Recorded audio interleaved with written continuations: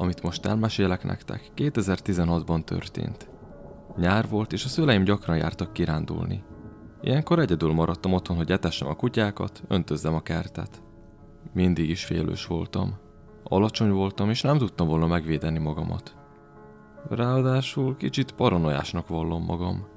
Emlékszem, hogy a legnagyobb félelmem az volt, hogy valaki követni fog az utcán. Ekkor még elég újak voltunk a területen. Nem ismertünk mindenkit, és nem tudtuk, hogy mennyire lehet megbízni az itteni emberekben. Az erdő közelében laktunk.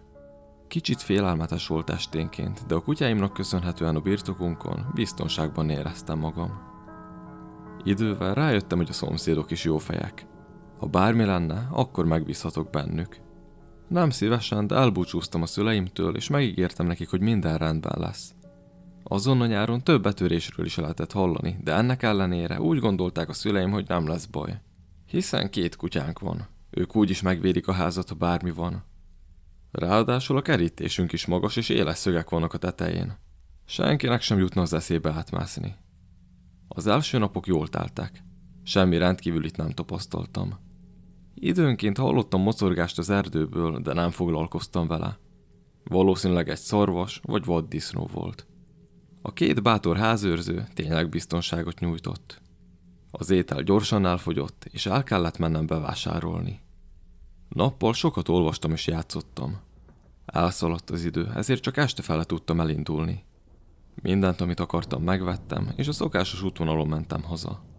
Sokan szoktak itt lenni, még este fele is, de most mégis teljesen egyedül voltam a járdán. Telefonoztam, valamelyik barátommal írogattam.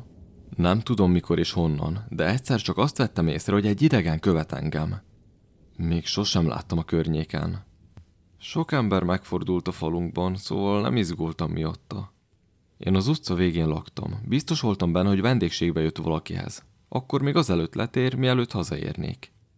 Akkor kezdtem gyanakodni, amikor felgyorsítottam, de ő is tartotta a tempót.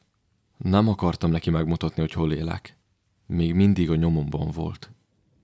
Szerencsére az egyik kedves szomszédunk, akit jól ismerünk, pont a kertet öntözte. Itt volt az én lehetőségem. Ha ő nem ment meg, akkor senki. Köszöntem neki, és jeleztem, hogy baj van. Oda hívott magához, én örömmel elfogadtam a meghívást, a férfi pedig hirtelen megfordult, és az ellenkező irányba elfutott. Ekkor tudatosítottam, hogy tényleg engem követett. Izgultam. Otthon rögtön felhívtam a szüleimet, de ők csak nyugtattak, hogy az utcánk biztonságos. Esélytelen, hogy bármi bajom történjen. Nem akartak hinni nekem. Azt hitték, hogy csak eltúlzom. Ismertek. Tudták, hogy milyen félős vagyok. Így, hogy egyedül voltam otthon, a szüleim ágyában aludtam. A földszinten volt, és bángattam a kutyákat is. Buksi feljött az ágyra, mintha érezte volna, hogy valami nincs rendben, és hogy félek. A figyelmemet egy kis olvasással próbáltam elterelni. Még nem tudtam aludni. Teljes csend volt, mikor mocorgásra lettem figyelmes. Kintről jött. Úgy tűnt, hogy nem a kerítésen túlról, mintha a területünkön mozgott volna valaki. Már Buksi is felkelt, és rajta is láttam, hogy nyugtalan. A könyvre fókuszáltam, de újabb mocorgást hallottam, mintha még közelebbről jött volna. Izzadt a tenyerem, és nem tudtam, hogy mit kell tennem. Másodpercekkel később már az ablakon kopogott valaki. Nem válaszoltam. Majd tovább ment, és a következő ablakon kezdett kopogni. Óvatosan a bejárati ajtóhoz sétáltam, hogy ellenőrizzem, zárva van-e. Az ajtó egyik része üvegből van. Át lehet rajta látni, pont a kertünkbe. Még az éjszaka közepén is látni egy kis fényt, az utcát megvilágító lámpának köszönhetően. Az ablakon keresztül láttam, hogy világít, de az ajtón keresztül nem szűrődött be a fény. Ez azt jelenti, hogy az ajtóm előtt állt. Nem mertem oda menni. Buksi lejött, és mellettem folytatta az ugatást. Ekkor már tényleg biztos voltam benne, hogy ott van, de ezt később a dörömbölésével is alátámasztotta. Az egyik asztal alatt elbújtam, és felhívtam az apámat. Pont ekkor nem vette fel. Fél egy volt. Azt reméltem, hogy az anyám telefonja fel van hangosítva, ezért őt hívtam ezután. Hála az égnek, felvette. Eleinte ideges volt, hogy ilyenkor zavarom őket. Nagy nehezen kinyögtem, hogy valaki be akar jutni a házba, és nem tudom, hogy mit évő legyek. Rögtön megértőbb hangon válaszolt az anyám. Ekkor a férfi már az egész testével az ajtónak ugrott. A szüleim hallották a telefonon keresztül, és ők is megrémülve akartak segíteni rajtam. Az apám intézkedni kezdett. Mindenkinek írt egy üzenetet, aki a közelben volt, hogy mi hamarabb menjen a házunkhoz, mert bajban vagyok. Végül a szomszédom, aki még aznap megmentette engem, elolvasta az üzenetet, és rögtön útnak indult, hogy újra megmentsen engem. Ő senkitől sem félt. Fegyver nélkül a kertünkbe futott. A kerítés át volt vágva. Azon keresztül ügyesen bebújt, és elijesztette a gyanús fickót. Ő elszaladt az erdőbe. Én még nem mertem előjönni. Féltem, hogy bajom esik. Hiába hallottam a szomszéd hangját, inkább az asztal alatt ültem, és vártam. Öt perccel később az unokatestvérem és a nagyim is megérkezett a házhoz. Az unokatestvéremnek volt hozzánk kulcsa. Kinyitotta, és rögtön megnyugtattak, hogy már minden rendben van. Az éjszaka folyamán velem voltak. A kutyák kiszaladtak, gondolom a férfit keresték, de ő már messze járhatott. Sosem fogom elfelejteni azt a pillanatot, ahogy könnyes szemmel a szobámban remektem. A nagyiméknak nem volt könnyű dolga, sokáig kellett nyugtatniuk engem. Ezután már még paranoiásabb lettem, és minden egyes hangra felkaptam a fejem. Jelentettük a rendőrségnek is az esetet, de ők sem kapták el. Az ajtónkat megrongálta. Az üveg betört, de nem annyira, hogy át tudjon nyúlni és kinyitni az ajtót. Nem értem, hogy mit akar tőlem, de hálás vagyok azért, hogy nem kellett megtudnom. A barátnőmmel már három hónap élünk együtt ebben az új lakásban. A földszinten lenni több okból is furcsa. Az épület nincs elkerítve, és gyakran látjuk az utcán sétáló embereket, akik örömmel néznek be a szobánkba. A leggyakrabban csak a kíváncsiság vezérli ezeket a járókelőket. A barátnőm dolgozott, és egyedül voltam otthon. A lámpa fel volt kapcsolva. A nappaliban tévéztem, és kajáltam. Én már a munkám után voltam, és pihentem. Nem tartott sokáig, hogy megzavarjon valami. Apró motorgást hallottam a fürdőszoba felől. Az első gondolatom rögtön az volt, hogy egy gyegér jutott a lakásunkba. Ez a rémálmunk volt, hogy valami kártevő elszaporodik a mi kis helyünkön. Undorodunk az ilyen rákcsálóktól. Rögtön a fürdőszobába akartam menni, de amint felálltam, észrevettem, hogy ez a kaparás nem is a fürdőszoba felől jön. Mintha valaki kint mozgott volna. Nem tudom pontosan beazonosítani a mocorgás ezért mindenhol körülnéztem. Semmit sem találtam, de a hangokat időnként újra hallottam. Már az ágy alá is benéztem, de ott sem volt. Az ablak előtt megálltam, egy kicsit füleltem, majd rájöttem, hogy az az élőlény, ami folyamatosan mozog, kint tartózkodik. Ekkor még azt hittem, hogy egy állat. Amint kinéztem volna, a hang megszűnt, és a másik szoba elől hallottam. Ez egy kisebb helység volt, sosem használtuk. Itt semmi érdekes sem volt, csak pár láda, felesleges holmi valamit nem akartunk kidobni. Sötét volt. Nem akartam felkapcsolni a lámpát, mert újra elijesztettem volna azt, ami kint van. Óvatosan meg akartam nézni, hogy mi zavarta meg az esti óráimat. Szépen lassan az ablak felé sétáltam. Senki sem volt ott. Mérgesen felkiáltottam, hogy hallom, hogy itt van. Mit akar tőlem? Teljesen csend volt. Vártam, hogy történjen valami. Egy örökké valóságnak tűnt. Meg akartam fordulni, aztán utoljára kinéztem. Akkor vettem észre ezt a lopakodó férfit, aki az ablak előtt googolt. Semmit sem kellett mondania, én már rögtön tudtam, hogy nem százas. Ilyen beteg tekintetet még soha nem láttam. Biztos vagyok benne, hogy valami illegálisat fogyasztott. A szavai is bebizonyították, hogy valami nincs rendben vele. Engedj be, Léci. Totál lesokkolt. Annyira váratlanul ért, hogy már nevetni kezdtem. Hát mit gondol, hogy rábólintok és kinyitom neki, hogy jöjjön csatlakozzon a tévézéshez? Megmondtam neki a magamét. Elküldtem a francba, és miután még mindig nem akart elmenni, megfenyegettem, hogy felhívom a zsorukat, ha nem távozik. Elővettem a telefont, de direkt úgy, hogy lássa. Ez az ellenkező reakciót váltotta ki belőle. Nem ijedt meg. Sokkal idegesebb lett. A szájából csöpögött a habzó nyála, és érthetetlenül hűmögött valamit. Az öklével az üveget ütötte, és egyáltalán nem foglalkozott azzal, hogy a bőrét felsérti.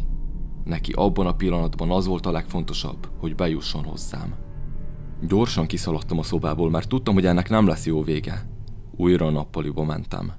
Gondolkoztam, hogy kiszaladok a házból, de attól féltem, hogy észrevenne engem és elkapna. Kitaláltam, hogy mit fogok csinálni. Megfogtam a legközelebbi fegyvernek használható tárgyat, és a két ajtó közé álltam. Az volt a terv, hogy várok. Megvárom, melyik kilincs fog megmozdulni, és én a másik ajtón futok ki. A telefonom még nálam volt. A rendőröket siettettem, hogy jöjjenek már, mert nagy a baj. A barátnőmet is féltettem, mert ő pont ilyenkor szokott hazaérni. Megírtam neki, hogy semmi esetre se jöjjön a közelbe. Két perccel később már hallottam a sziréna hangját és a kopogást. A zsaruk megérkeztek. Elmondtam, hogy mi történt, ők pedig átnézték a területet. A közeli erdőben is voltak, de a férfit már nem találták meg. Semmi nyomot nem hagyott maga után, csak a törött ablakot. Az üvegről mintát vettek. A barátnőm szerencsére megkapta az üzenetet, és szót fogadott. Csak akkor jött haza, amikor megbizonyosodtam, hogy tiszta a terep, és biztos voltam benne, hogy nem esik baja. A nyomozás eltartott egy ideig. Csak velünk történt ilyen. A többi szomszédot nem zaklatta a városban. Sosem találták meg, és a mai napig szabad lábon van. Ha visszatér, már felkészültebb leszek. Ez a történet még friss. Idén januárban éltem át, és még a mai napig nem sikerült feldolgoznom. 17 éves vagyok. Az anyám és a mostohaapám Mexikóba utaztak, hogy megünnepeljék a házassági évfordulójukat. Addig hat napra egyedül maradtam otthon. Igazából élveztem, hogy az egész ház csak az enyém. Minden nap elmentem bulizni. Persze a szüleim nem tudtak róla. Azt is fontos megemlítenem, hogy az anyám elrejtette a kocsi kulcsot, de öt perc keresés után meg is találtam. Minden egyes nap elmentem a barátnőmhöz is. Az egyik buli után is így tettem. Elmentem hozzá. Olyan 20 percre lakott tőlem. A környékük, hogy is mondjam, nem volt a legbiztonságosabb. Másnap iskolába kellett mennünk, de ennek ellenére éjfél után kb. egyik maradtam nála. Már hazafele tartottam, amikor észrevettem, hogy egy ismeretlen autó követ engem. Amire megérkeztem, leráztam a fickót. Otthon rögtön lezuhanyoztam, megnéztem az időt, és már kettő volt. Tudtam, hogy kialvatlan leszek másnap. Ráadásul a kutyám jó ötletnek tartotta, hogy az éjszaka közepén elkezd dugatni. Már azt hittem, hogy szándékosan szivat engem, hogy ne tudjam kialudni magam. Nem akarta abba hagyni, ezért aggódva oda mentem az ablakhoz, hogy megnézzem, mi zavarja őt. Ahogy kinéztem, észrevettem egy fekete autót. Mi a szar? Gondoltam. Ez ugyanaz az autó. Ő követett engem. Nem vettem le róla a szemem. El tudjátok képzelni, hogy mennyire bepánikoltam. A kocsiból ketten kiszálltak, és a bejárathoz jöttek. Nem tudtam, hogy mit akarnak, de rossz közérzetem volt. Sejtettem, hogy én kellek nekik. Az egyikük elővette a telefont, és mély hangon beszélni kezdett. Még most is libabőrös leszek, ha visszagondolok rá. Nem emlékszem pontosan, de valami olyan volt, hogy... Ja, itt vagyunk. Nem, a szülők nincsenek a házban. A fiú bent van. Ha tippelnem kell, akkor 16-18 éves lehet.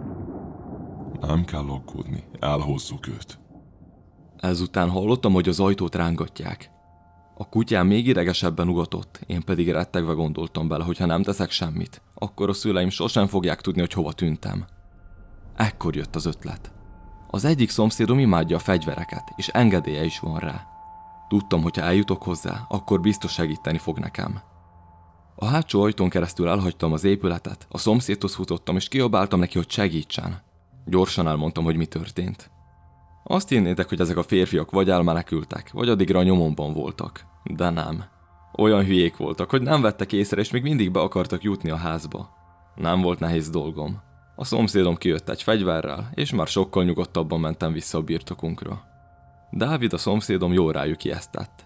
A fegyvert feléjük tartotta, és mondta, hogy öt másodpercük van, hogy eltűnjenek, mert máskülönben meghúzza a ravaszt.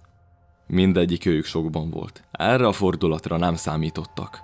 Az életükért könyörögve visszafutottak az autóhoz, és amilyen gyorsan csak tudtak, elhajtottak. Mi sem voltunk buták, hogy csak ennyiben hagyjuk a dolgot. Megjegyeztük a rendszámot, felhívtuk a rendőröket, és jelentettük nekik, hogy mi történt. Hálás vagyok, hogy ilyen kedves és segítőkész szomszédom van. Csak is neki köszönhetem, hogy nem tűntem el. Ha valamelyik őtöket érdekelni, hogy miért nem hívtam fel a zsorukat hamarabb, hát kicsit gázkifogásom van. Féltem, hogy az anyukám megtudja, hogy vezettem, és ilyen későn is fent voltam. Jobban féltem a szüleim haragjától, mint az idegen bűnözőktől. Még mindig nem tudják, hogy mi történt. Dávid nem mondta el nekik. Ez a mi közös titkunk marad. Nélkülem már tényleg nem lennék itt. Nem tudom, hogy mit akarhattak tőlem, de ha tippelnem kell, szerintem szervkereskedők lehettek. Fura, hogy pont engem szemeltek ki. Valószínűleg a barátnőm utcájában láttak meg engem. Egészséges fiatal srác vagyok, ha bár a májam már egy kicsit el van bulizva, de ők ezt nem tudták. Még egyszer köszi Dávid, hogy élhetek. Te vagy a világ legjobb szomszédja.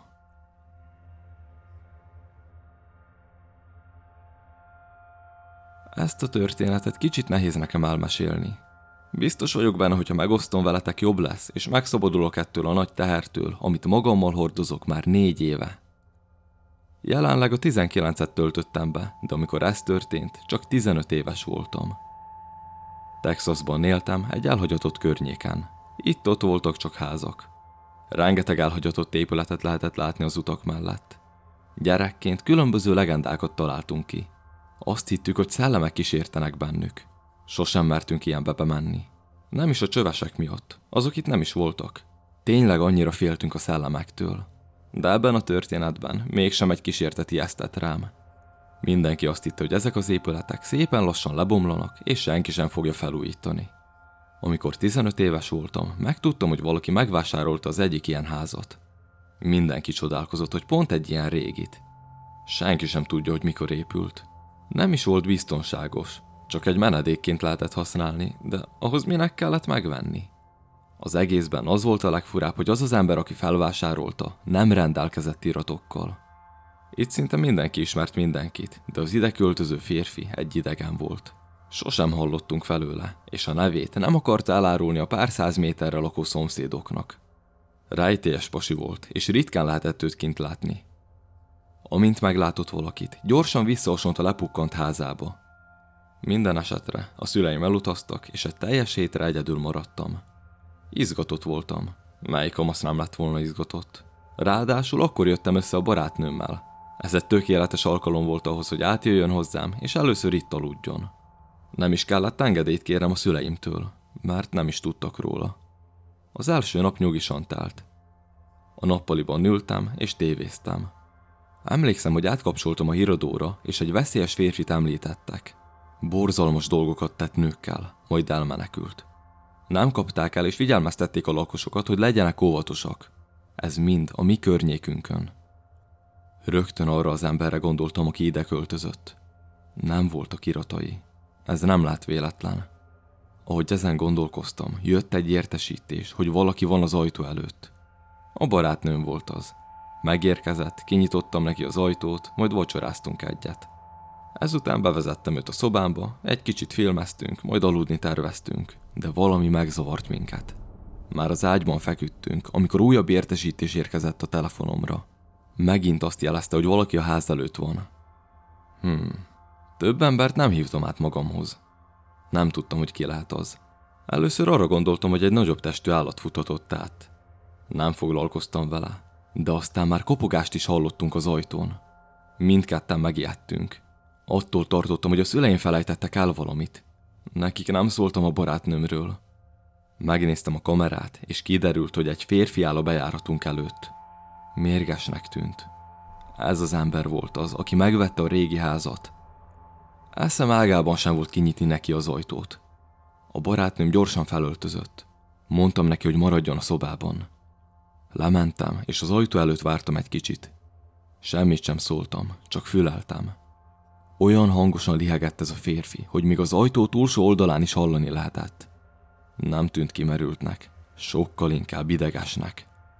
Nem sokkal később újra kopogni kezdett, de ez a kopogás szépen lassan átváltott dörömbölésre. Már a lábával is rúgta az ajtót. Azt kiabált, hogy nyissuk ki neki, tudja, hogy bent vagyunk. Nem tudom, de ez a hang nem nem győzött meg engem. Inkább visszamentem a barátnőmhöz. Megmondtam, hogy mi a helyzet. Majd a szüleim szobájába mentem, és elővettem az apám fegyverét. Megtanította nekem, hogy hogyan működik a pisztoly. Tudtam, hogy mit csinálok. Így már sokkal nagyobb biztonságban éreztem magam. Visszamentem a barátnőmhöz. Ő pánikolt, és már könnyes szemmel azt hitte, hogy nekünk végünk, ha bejut ez az ember. Amint befejeztem a mondatot, az üveg betört, és a posi kiabálni kezdett. Reménykedjetek, hogy nem találok meg titeket, mert rohadtul megbánjátok, hogy nem engedtetek be. Ez már tényleg komoly volt. Én felkészültem, hogy lehet tényleg használnom kell a pisztolyt. Addig a barátnőm felhívta a rendőröket. Az ajtó felé céloztam, ami be volt zárva. Hallottam a lépteket, hogy a lépcsőn feljön, majd a szoba ajtaján is kopogni kezdett. Felkiáltottam, hogy fegyver van nálam, és ha most azonnal nem hagyja el a birtokomat, használni fogom. Azt hittem, hogy ez el fogja ijeszteni, de nem.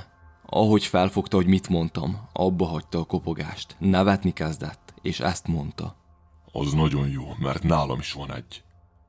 Sokban voltam. Erre tényleg nem számítottam. Még mindig az ajtó felé céloztam, de ekkor már hallottam a szirénát. A fickó gyorsan lefutott a lépcsőn, majd elhagyta a házunkat. Amire a rendőrök bejöttek, ő már távol járhatott.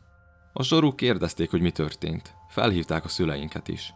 A barátnőmet hazakísérték. Az anyám nem haragudott rám, sőt, örült, hogy nem voltam egyedül és áthívtam valakit. A nyomozás kezdetét vette, és később kiderült, hogy ez tényleg ugyanaz a férfi lehetett, akiről a tévében hallottam. Most sem sikerült elkapniuk, és minden bizonyal még mindig szabad lábon van. Remélem már elég öreg ahhoz, hogy ne csináljon hasonló butaságokat. A háza ismét üresen áll, és ugyanolyan romos, mint volt. Néha elgondolkozok azon, hogyha kinyitotta volna az ajtót, tényleg meghúztam volna a ravaszt. Örülök, hogy nem került rá sor. Egy 21 éves nő vagyok. Nemrég találtam egy olcsó albérletet. A szomszédaim kedvesek és aranyosak. Már rögtön az első napon bemutatkoztak. Az egyik szomszédomat úgy hívják, hogy Paul. Szinte mindig a folyosón van és dumálni akar. Nem vagyok beszédes, ezért sosem örültem, amikor összefutottam vele. A kérdéseivel elhúzza az időm. Amikor otthon vagyok, filmezni akarok, és nem Póllal beszélni. Elég gyakran felkeres. Heti szinten kopog az ajtómon. Mindig kitalál valamit, hogy ne ok nélkül zavarjon, de egyértelmű, hogy ezek csak kifogások. A beköltözésem után egy héttel Paul megosztotta velem a wifi jelszavát, hogy használhassam a tévémen. Megadtam neki a telefonszámom, mert nem tudta fejből a jelszót. Úgy egyeztünk meg, hogy majd SMS-ben elküldi. Nem gondoltam arra, hogy bármi rossz történhet emiatt. Teltek a napok, és minden rendben volt. Tegnap egy ismeretlen számról kaptam üzenetet. Azt állította, hogy egy titkos hódolom. Nem akarta megmondani ki az, de örülne, ha lehetne köztünk valami. Először nem törődtem vele, de amikor leírta a nevem, rendesen kirázott a hideg. Beszélj velem, tudom, hogy olvasod az üzeneteimet.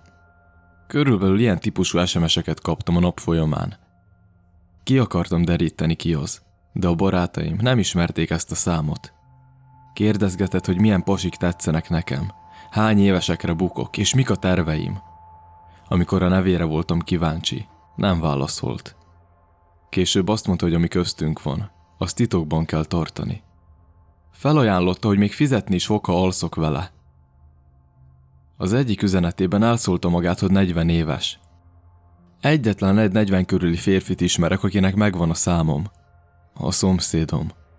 Paul, aki mindig a folyosón van, és megállás nélkül beszélni akar. Megmondtam neki, hogy tudom, kivel írok, de ő azt állította, hogy biztos nem. Szinte száz százalék, hogy ő az. Két hete adhattam meg neki a számom. Nem lehet véletlen. Nővérke vagyok az egyik kórházban. A betegeimnek nem adom meg a saját számom, és a munkatársaimat ismerem. Ők nem írnának ilyet. A barátaim és a családom sem találkozott hasonló emberrel. Szóval igen. Nagy valószínűséggel egy győrült szomszédom van, aki utánom leskelődik, és írogat.